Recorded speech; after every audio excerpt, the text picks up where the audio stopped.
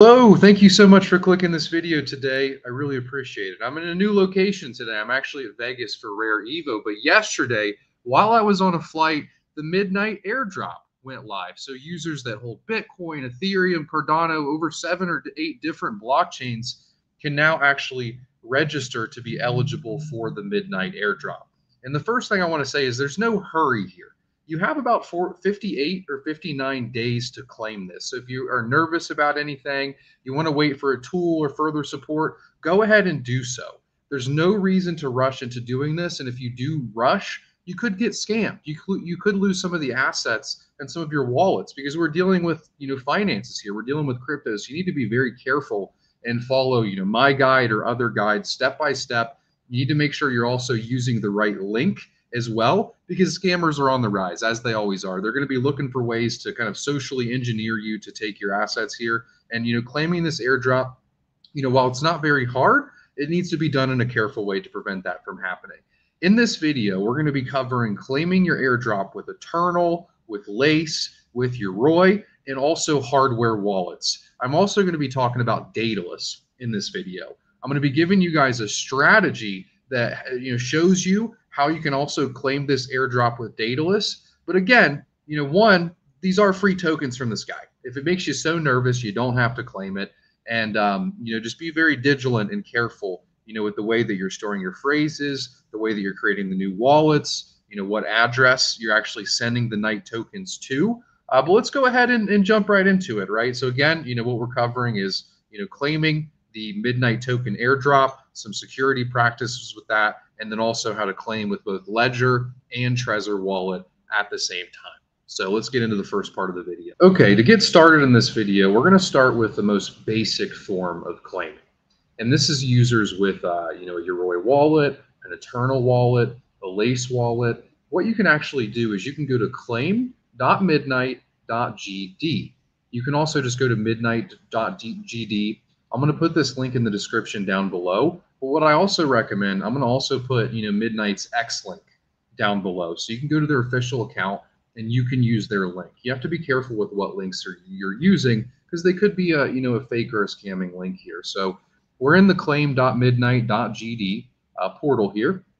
And the first thing we're going to do is click our blockchain network. So, you know, depending on what blockchain you're claiming on, you can click any of these different networks here and connect your wallet, right? They support MetaMask and many other wallets, but we're going to focus on Cardano today. We're going to confirm the Cardano network, and we have a few different options here. We can enter the address address manually, but if we enter the address manually, it's going to be a bit harder at the end, the process. You're actually going to have to create a transaction within your wallet and then sign it manually at the end of the process. So we're going to start with the easy one first here, the browser wallet. So they have MetaMask and, Lace as an option here. And then again, if you're using a hardware wallet, some people are actually having issues right now with hardware wallets. So later in the video, I'm going to show you guys how you can use Ledger and Trezor and, and claim this right now. But we're going to be focusing specifically for wallets right now that are in the browser, uh, you know, that you can connect using CIP30. And CIP30 is just a, a standard on Cardano for connecting wallets. Uh, you know, all of the browser wallets follow it, whereas Daedalus, for example, is not a CIP30 supported wallet. So if you're using Daedalus, you're going to have to wait until the later part of this video, and I can show you how to get that done, uh, you know, with Daedalus. So we're going to go ahead and we're going to connect, uh, you know, the Eternl wallet here. And then if you noticed, it did say that that you know Lace is the premier wallet. Uh, you know, I, I think I tend to agree with that because you know I've spoke to some of the team members at Lace, and you know this night token is actually going to generate dust, and then you can use the dust to use the night network. Uh, you know, it's an interesting tokenomic design that I'm not going to get into right now, but I, you know, from my understanding, Lace is actually going to be uh, you know widely supported and supported a bit earlier when it comes to, to night because they have a close relationship with the team. So now that we've inserted this address you can see that I have some night tokens here. 273 for this wallet. And you know, there's an important note here. You had to have at least $100 in whatever, whatever asset you're claiming. And then they took the snapshot date a couple of months ago. So in that time, if you've moved your ADA or your other tokens to a different wallet, then you're going to need to connect the wallet uh, or type in the address for the wallet that you used during that snapshot date. Off the off the top of my head, I want to say the snapshot date I think was uh, you know June 11th uh, on the dot. Uh, but you know I'll, I'll put on screen here uh, the actual snapshot date um, so so you guys have that. And that's you know the wallet that you're going to want to connect the wallet with ADA or Bitcoin from that actual date. So then now it's saying your address must you know uh, you want to also select a, de a destination address here as well. And they're stating that the destination address has to not have any ADA in it. So what you can do here is you can actually create a new wallet, uh, you know, with no ADA in it. You know, you can use Lace or Yoroi or Eternl, you know, create that wallet. This can also be on a hardware wallet uh, in which you're creating it. So no problem there. Once you create that, you know, make sure you store this mnemonic phrase safely like you would with any of your other wallets. Don't screenshot it. You're going to want to write it down and put it in a notebook and label it midnight, you know, claim wallet. And you'll also be able to claim some of your other airdrops, you know, if you have other wallets to this same address, which I think is pretty cool. So we're going to go ahead and use a different address here. And I'm actually going to go ahead and um, enter this address manually, but I'm going to go grab that address and, and jump to the next part of the video. Okay, welcome back. So what I just did over the break is I went ahead and created a brand new Cardano wallet. If you're a bit more tech savvy, you could use you know Eternl's multi-address mode to get a second address that has no ADA in it. Um, but you know to keep things simple, you know I just created a new wallet, and that's a way for you guys to do this as well. You can create a new wallet in Lace, Eternl, Yoroi uh, to actually claim these tokens. So now that I have this, and, and again, they want the address to be completely empty. So a brand new wallet, brand new address, or it could just be an empty address in one of your existing wallets. So now that I have this address, we're going to click continue, and then I'm going to paste this destination address right here. And then this is a new address that I made just for this. Check, and then we're going to check to make sure that it's unused. It should be unused. Okay, it's saying it is. If it's telling you that your address is used, that just means you have ADA or other assets in that address, and they would like it to be empty. So make sure you read the terms and service here. You know, this is important. We're going to go ahead and scroll to the bottom. We're going to click next. And then now we have this, uh, this claim message here. So we're going to go ahead and sign this. And, you know, because we're kind of doing this the simple way, we're using a CIP30 wallet. In the beginning, we didn't enter that address manually. What we did in the beginning instead was we connected our wallet. If it's asking you to, you know, do some kind of more complicated stuff, that means you need to go back to the choose an origin address and connect a wallet. So you, you guys don't see this, but after I type that in, Eternl actually popped up for me, and I'm going to go ahead and sign this transaction using Eternl. And you know, one thing I wanted to state here is you can actually read your transaction on Cardano if you're signing this, you know, look at the UTXO ins and the UTXO outs. If it says, you know, UTXO out on the right side, and it has all of your favorite NFTs and all of your ADA going to another wallet, that means that you're actually doing something incorrect. That means you're using the wrong website.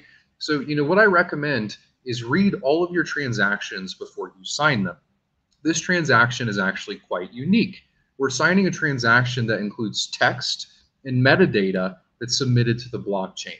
So when you're looking at the transaction, it doesn't have all of my ADA or all of my assets or all of my NFTs are going somewhere. That's not what's happening here. I'm signing a message transaction, right? So please, please, please, please just verify what you're signing. And it's very simple. If you see all of your assets going somewhere, you're getting scammed. If you're seeing a, a message transaction, then you're signing the right transaction. So I'm going to go ahead and sign this payload. And it says, okay, your claim has been successfully signed. I'm going to click here now, complete claim. And then now it's completing the claim. And then we've gotten this claim completed message, claim summary. Your allocation size was 273 night. Hell yes. And then it says this, this first claim phase ends in 58 days and 19 hours. And this is kind of what I was telling you earlier about you don't have to rush to claim this. You have another 58 days that destination address that we used earlier, we can reuse that destination address for our new wallets or for you know our other wallets or you know our other blockchains So keep that fresh address so you can reuse it for other claims. If you have another wallet that you need to claim or check, you can go ahead and just click this start a new claim here.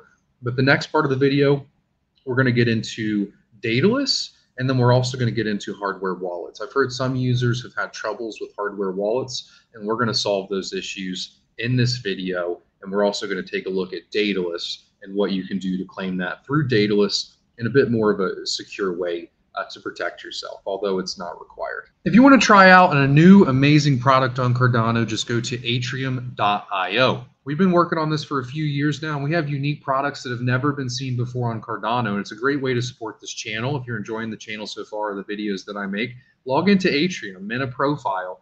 Profiles are our entrance into the social SocialFi ecosystem that we're creating on Cardano. These profiles will be able to gather delegation like SPOs. You can mint them now and start leveling them up and unlock unique exclusive backgrounds. We actually have an exclusive uh, avatar and background here at Rare Evo. So it serves as an education portal for new users. When somebody asks you, what is Cardano, you can just share the Atrium because we have an education portal with 26 motion graphic videos that teach you about Cardano. We also have a, new product launching on August 13th called Staking Baskets. Diffusion, what's launching on the 13th, allows you to delegate to 50 different Cardano stake pools and earn ATMA tokens on top of your ADA rewards. So for supporting 50 small businesses on Cardano, you're also getting additional tokens on top of your ADA rewards for supporting all of them at once. We have a bunch of different products and features in here on top of the education portal with staking baskets actually launching next week on the 13th. Now's a great time to get in here, mint a profile, and if you want to learn more about Atrium, if you have any questions, just join the Discord link down below, discord.gg forward slash Atrium. And uh, yeah, thank you guys for all the people that have used Atrium so far. It's been an amazing launch. We've had thousands of users complete thousands of challenges, or you know, tens of thousands of challenges. I think over 50,000 now. And uh, we've also had thousands of transactions on the Cardano blockchain since Atrium went live. But let's get back into the video. Okay, we're going to talk about Daedalus for just a moment. Uh, you know, with Daedalus, I mentioned this CIP30 support earlier, and it has to do with the browser wallets and being able to connect your wallet. And that really is the issue with Daedalus. Daedalus is a full node wallet that's trying to do a different thing. But what you need to realize about uh, wallets, specifically on Cardano, is that wallets really are just a window into your blockchain assets. They serve as a front end for your assets. So when you created your Daedalus wallet, you wrote down a mnemonic phrase. That mnemonic phrase is your keys to your crypto. It's what allows you to actually spend the crypto.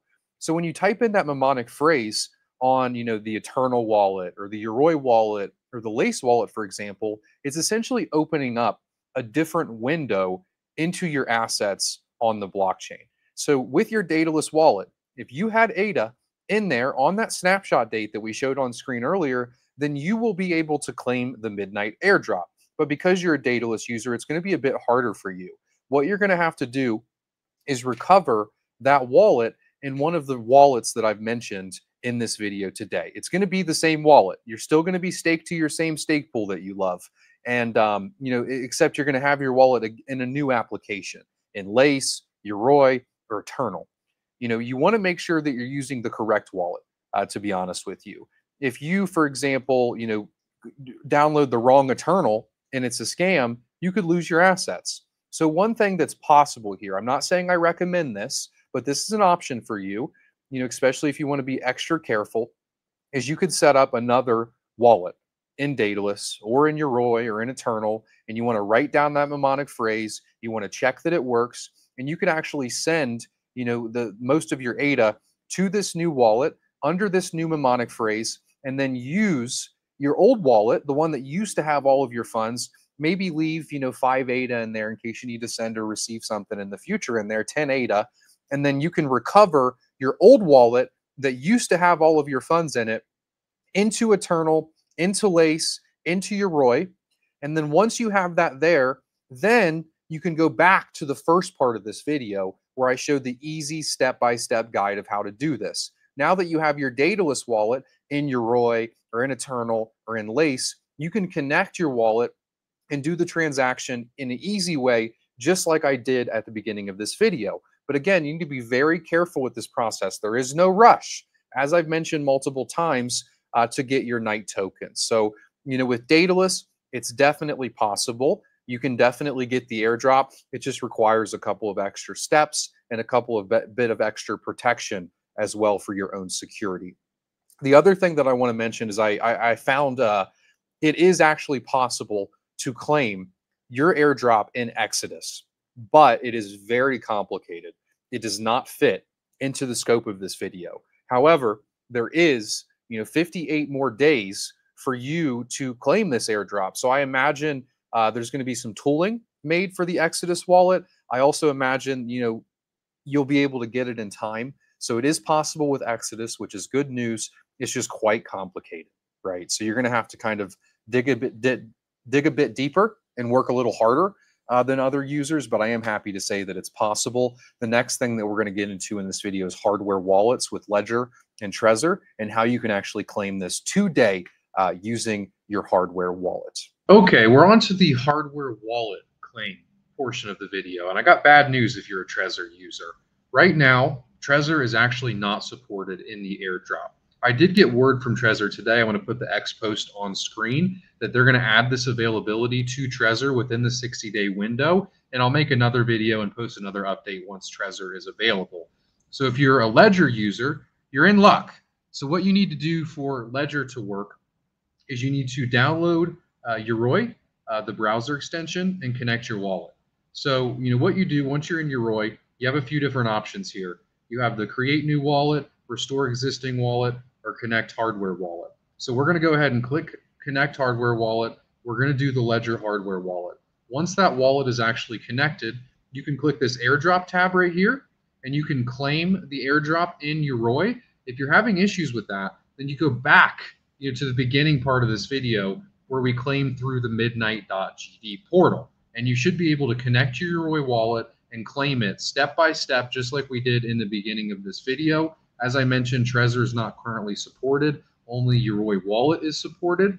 Um, so okay, now we've gotten you know the the airdrop claimed you know for most of us until we're waiting for the the Trezor update. So what's next?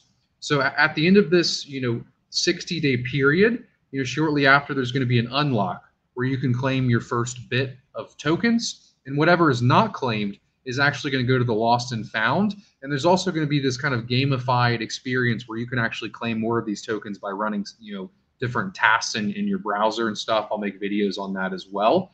But again, there's no rush to claim all of this. I'll make a video once the, the Trezor support is up and live. I wanted to include that in this video, but it's not working for me, uh, even in any of the wallets. But you know, from my understanding, if you're having trouble with Ledger on any of the wallets, uh, Yoroi is working quite well right now. And um, yeah, thank you for tuning into this video. If you enjoyed it, uh, make sure you click the like button. If you made it to the end, uh, comment uh, Ledger down below.